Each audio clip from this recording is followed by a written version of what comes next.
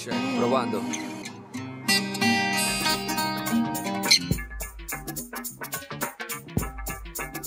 Okay then, 8 on Saturday. I had a good time too. Look, Tony, I don't want to be rude, but I'm still in that meeting. uh, uh, no, it's okay. Just um, uh, I'll talk to you later.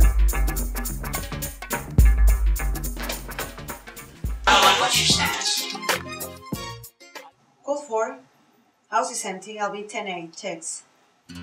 So what's up, boys? Check. What do you want to say? I'll say I'm sorry.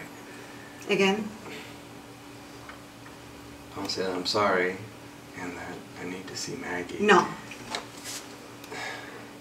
Alright, I understand you probably still think that I'm gambling, but I'm not. I'm done with that. I've been going to a group. Um, here. I got this.